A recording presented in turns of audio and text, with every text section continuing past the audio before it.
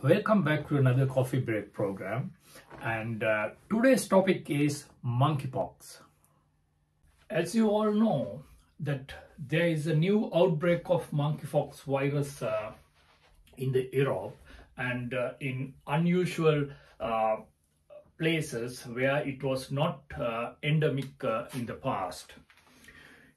This is a double-stranded DNA virus, whereas the SARS-CoV virus is a single-stranded RNA virus. What is the difference between this double-stranded uh, DNA virus and the RNA virus? The RNA virus, single-stranded, tends to get more and more mutations very quickly. But the double-stranded virus, it has a capability of repairing the mutations or the changes of the uh, DNA uh, um, uh, base pattern and uh, by that way it can repair the uh, genetic material and keep the uh, mutation intact. So there are very very rare opportunities that they get into new mutations. So that is the difference and uh, the DNA uh, virus uh, has that specificity that uh, it it is uh, stable and new mutations are very rare. Uh, this is a Poxviridae group of viruses and subgroup of orthopox virus. What are the orthopox viruses that we know usually? the most dangerous virus that we came across uh, of these orthopox virus, orthopox viruses were smallpox.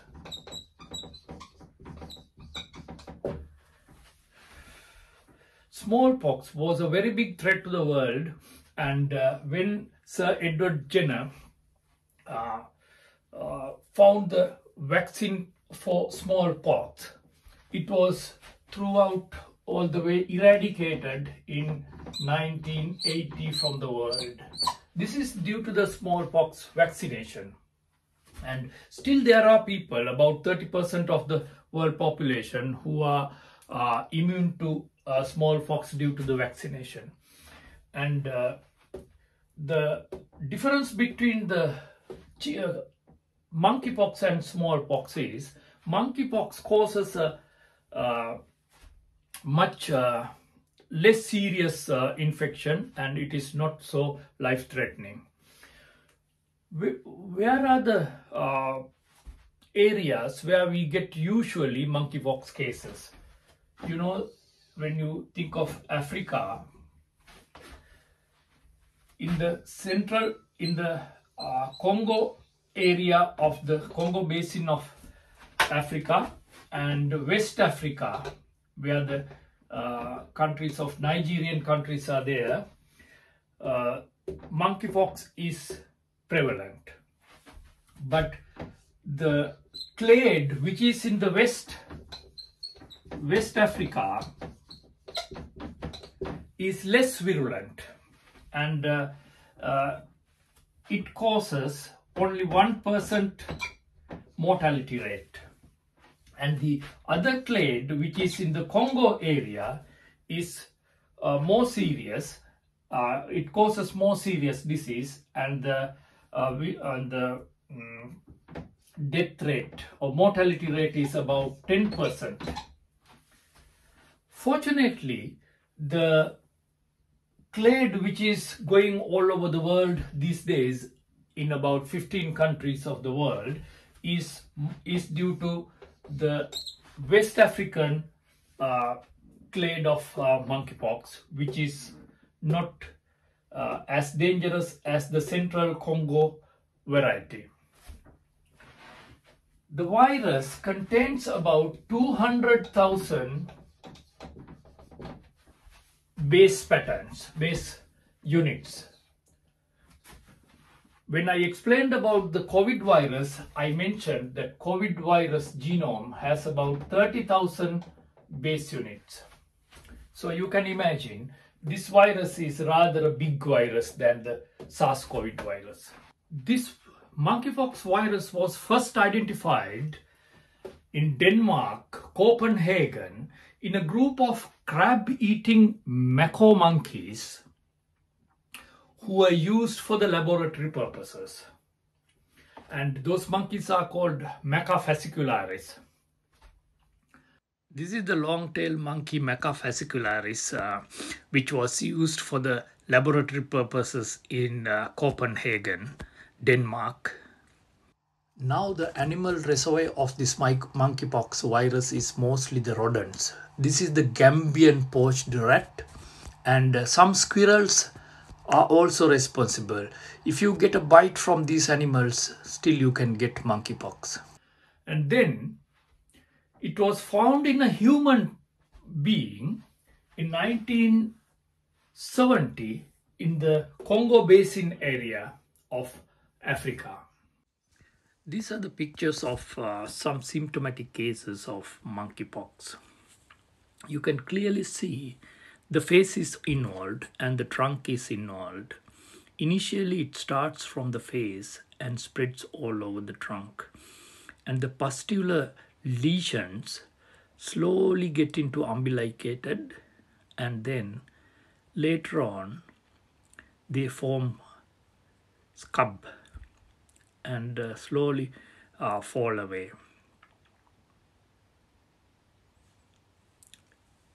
It's really annoying skin lesion and very painful as well. Since then, it was endemic to the uh, Congo area of Africa and West Africa and had been uh, on and off. Uh, there were cases all over the world uh, came from travelers uh, coming from uh, African countries. You can see the worldwide spread of monkeypox from the Central and West Africa in this map clearly. Therefore, it's a zoonotic infection which comes from rodents and monkeys uh, to man. But man-to-man uh, infection is also uh, happening. So, uh, what are the ways of uh, spreading of this disease? Actually, direct contact is the most important thing. Uh, if you direct get contacted with an animal who was infected with monkeypox, there is a possibility that you get it. And also, if you eat the undercooked meat of an animal uh, which had been infected with monkeypox, you can get monkeypox. And the other ways are direct contact with a patient who has been infected uh, with monkeypox or uh, if you uh, keep a very close contact with the patient for a long time, it can be spreaded through the droplets as well, but the droplets are very big uh, particles and the virus is also very big. So you have to be uh, very intimately contacted with the patient for a long time to get this infection for about uh, six hours they say. And uh, if you directly contact with the patient or get uh, the discharges of these scabs or if you use the uh, contaminated linen of the patient uh, who had uh, used this, you had used before, there's a possibility that you may get the disease. And usually the cause of the disease uh, is mild, mild. But uh, there is an incubation period of about 5 to uh, 13 days and uh, the initial symptoms are headache, muscle pain, chills, fever, lethargy, flu-like symptoms, and lymphadenopathy. Lymphadenopathy is very important because in other orthopox viruses like chickenpox and uh, uh, smallpox, you don't get lymphadenopathy and this is specific to this uh, monkeypox. You start with uh, enlarging lymph nodes uh, all over the body before you get the real symptoms. If you, when the symptoms are started really appearing, usually the course of the disease lasts for about two weeks to uh, four weeks. And on the fifth, on the uh, fourth to fifth day, you start getting the rash, the typical pattern of the rash. I will explain in the pictures now. The lesion starts as a small blister, then progresses as a pustule. After that, the pustule get umbilicated and slowly, slowly the middle is getting dried and it spread uh, around. And then at last, it forms a scab and falls over uh, later on. Most of the cases found in the Europe are among the gay community, but it doesn't mean that this is sexually transmitted. It is not proven that monkeypox is sexually transmitted. Maybe the gay community is more vulnerable because they are directly contacted with the patients and with the intimate contact, uh, there is a high possibility of transmission of the disease. There is uh, no way it is proven that it is sexually transmitted. And uh, what is the normal uh, situation of uh, a person if somebody is get uh, contaminated with uh, monkeypox case. Most of the cases are asymptomatic. Asymptomatic.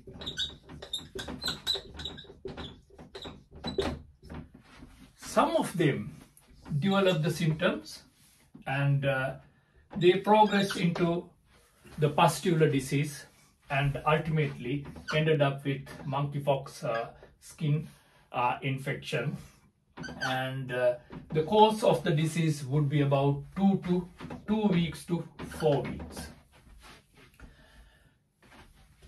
Who are the most vulnerable people? Most vulnerable people are young adults, immunocompromised patients,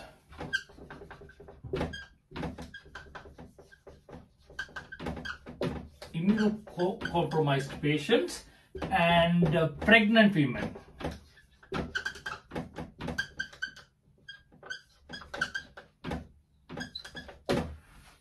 So, if some uh, young adults are more vulnerable and immunocompromised patients are more vulnerable and they can have deadly disease and pregnant women they are more vulnerable and uh, they can end up with uh, stillbirth as well so if somebody of this category gets contaminated with monkeypox virus, we have to be very careful.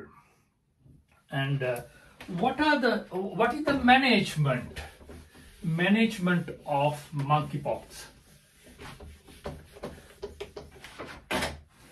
Most of the population who are vaccinated against smallpox do have an, a certain degree of immunity against monkeypox. These two scars resembles the uh, smallpox vaccination. The smallpox vaccine is an intradermal vaccine which is given to the skin and uh, with two scratches and those lesions, those areas get infected later and forms a scab and it falls down, remaining a permanent scar. And uh, if somebody, a normal person, is exposed to a monkeypox infection, therefore, we can give smallpox vaccine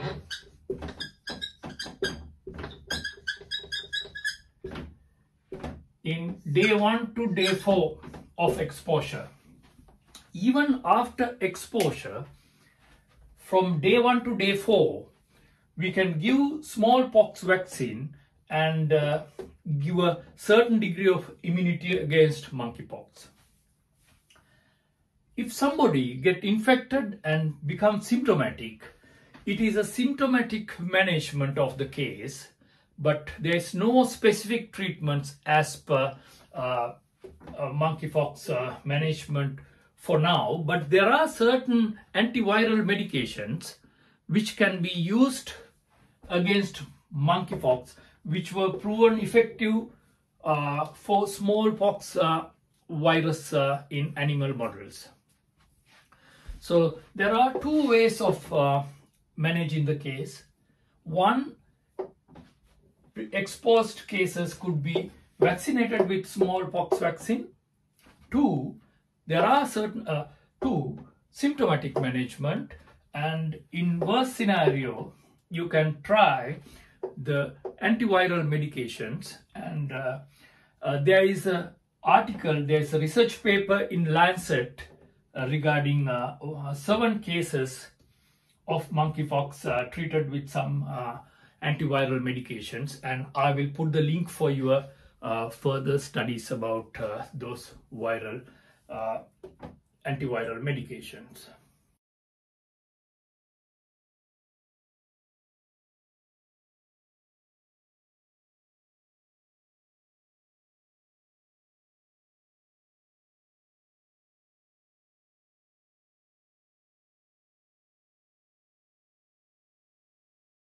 Therefore, if someone is suspected to have a rash similar to monkeypox or any signs and symptoms similar to monkeypox, or if you have been exposed to a patient who had monkeypox, the first thing that you have to do is to self-isolate the patient for 21 days. And rest of the management starts from that point of uh, self-isolation.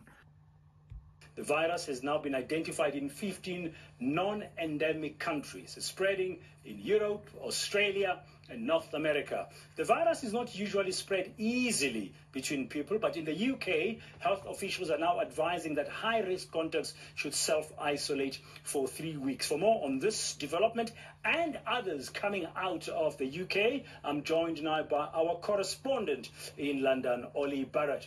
Oli, good afternoon and thank you very much uh, for your time. Just give us the latest on what the UK is doing in managing the monkeypox spread. Yeah, well, the UK is uh, really saying to people that if they are uh, a direct, close, or household contact of someone uh, who has caught monkeypox, then uh, they should isolate for 21 days. The